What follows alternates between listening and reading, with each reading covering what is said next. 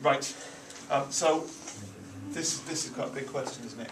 We've got to integrate that integral using two different methods. So show that the substitution transforms it to that. We're integrating.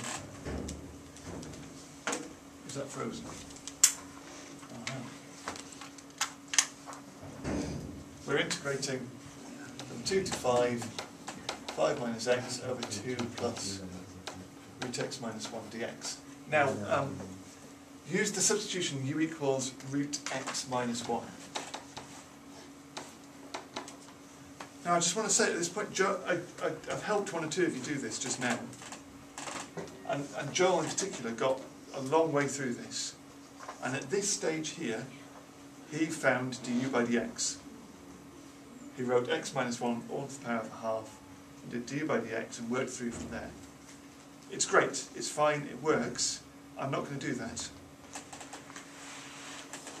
I'm going to write u squared is x minus 1. So x is u squared plus 1.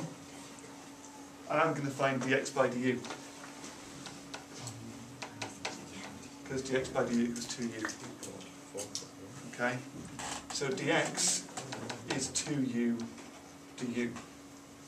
Now, if you had done it the other way, as John did, I may as well show you this. You get du by dx, because you're doing x minus 1 all to the half, you get a half x minus 1 to the minus a half. So du by dx is 1 over 2 root x minus 1. But root x minus 1 is u, so that's 1 over 2u. So actually, we're kind of at the same point anyway, aren't we? And you end up with 2u du equals dx from that. And that's a slightly more efficient way of, of getting to it. But e either way is fine. Um, we, we've got to change the limits as well, haven't we? So we've also got to do, if x equals 2, u equals the square root of 2 minus 1, which is 1, and if x equals 5, u is the square root of 5 minus 1, which is 2, which gives us the integral from 1 to 2 of... Right, so now let's do some switching round of things. Um, 5 minus x, well hang on, what have we got here? x is u squared plus 1. So that top line is 5 minus u squared plus 1. The bottom line is 2 plus u. And then we're replacing dx with 2u du, like that. Now it's looking quite neat, because what we've got is the integral from 1 to 2 of, I, I really like this bit, there's a really nice moment coming up. We've got 5 minus 1, so that's 4 minus u squared over 2 plus u times 2u du.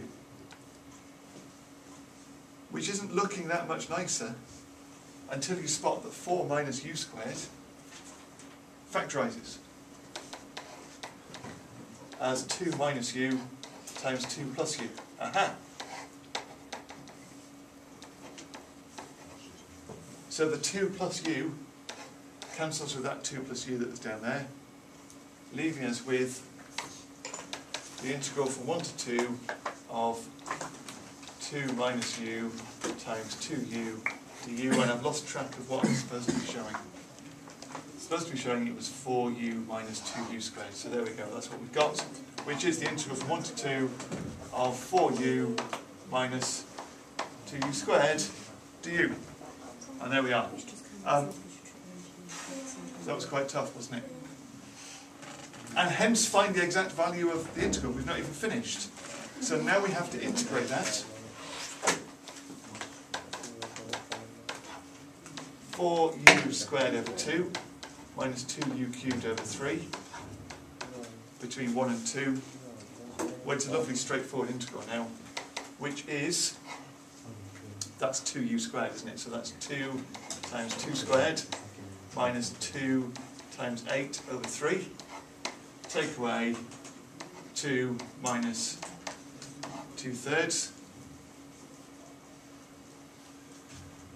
which gives us some stuff.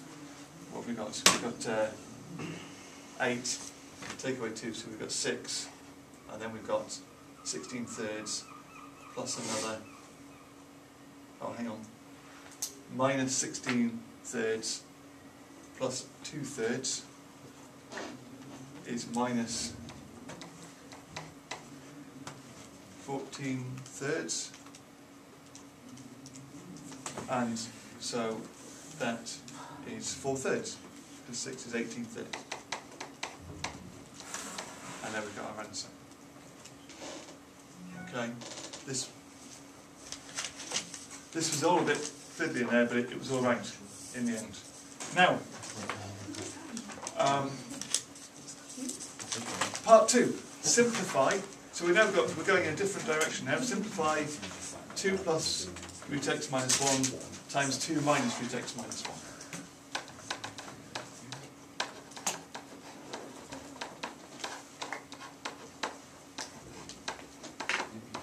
Well, there's a common theme of difference of two squares going on here, isn't there? That we've again got a difference of two squares form. We've got a plus b times a minus b, which gives us 2 squared minus root x minus 1 squared. Which is that, which is 5 minus x. So there we go, that's, that's all we had to do for the first couple of marks from that. Or the first mark, was it one mark? Yep. By first multiplying the numerator and denominator of that by this, find the exact value of i. So we're back to our integral again, but this time, in part b, we are doing 5 minus x over 2 plus root x minus 1. And we're multiplying it by 2 minus root x minus 1 over 2 minus root x minus 1. I think that's, that's what they've asked us to do, isn't it? Which we now know gives us 5 minus x on the bottom, 5 minus x on the top, and 2 minus root x minus 1 up there as well. So this time the 5 minus x cancels out, leaving us with 2 minus root x minus 1. So our integral that we were supposed to be doing is now the integral from 2 to 5 of 2 minus x minus 1 to the half dx. And there's no substitutions or anything to do here. This is just a really standard integral. It is 2x. Now if we integrate this, we're going to add 1 to the power and divide by the new power, so we're dividing by 3 over 2, which is like multiplying by 2 over 3, between 2 and 5. And hopefully if we sub the limits in, Did it ask for the limits in that question? Oh, it did, it said evaluate the same integral, find the exact value of i, and i was defined as that. So we're going to sub in the limits and get 10 minus 2 thirds of 4 to the 3 over 2 minus 4 minus 2 thirds of 1 to 3 over 2 which you could probably just stick in your calculator if you really wanted to. What we got? We've got 10 taken away 4, so we've got 6 there. And 4 to 3 over 2, that's 4 square rooted is 2, cubed is 8, so that is minus 16 over 3. And here we've also got, as we expected, the plus 2 over 3. So it ends up being exactly the same, doesn't it? We've got 4, take away 14 thirds. So 18 thirds, take away 14 thirds is the required 4 thirds. It's a nice feeling when you get the same answer for both of them. But a horrible feeling if you get different answers for both of them. Right. Maths and stuff.